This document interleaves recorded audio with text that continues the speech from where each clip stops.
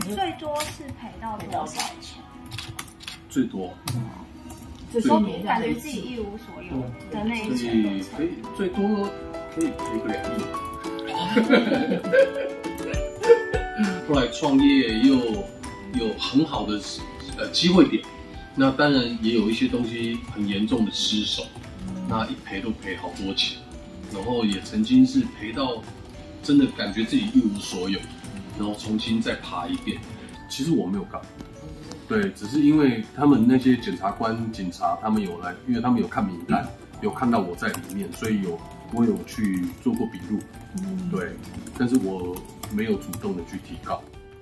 对不对？那笔钱拿来投资艺术品多好。蛮好骗的。创业，创业，你看从一开始的五五六六，我才刚出道没多久啊，脊椎椎弓就断了，然后后来创业又有很好的呃机会点，那当然也有一些东西很严重的失手，那一赔都赔好多钱，然后也曾经是赔到真的感觉自己一无所有，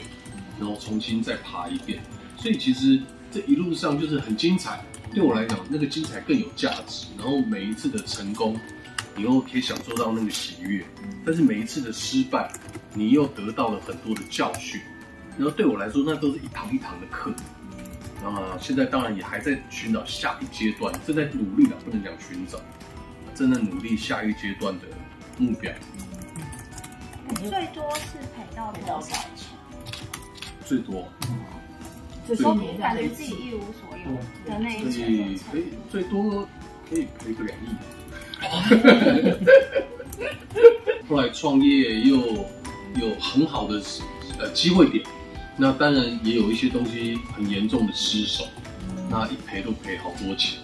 然后也曾经是赔到真的感觉自己一无所有，然后重新再爬一遍。其实我没有干，对，只是因为他们那些检察官、警察，他们有来，因为他们有看名单，有看到我在里面，所以有我有去做过笔录，嗯，对，但是我没有主动的去提告，对不对？那笔钱拿来投资艺术品多好。蛮好骗的。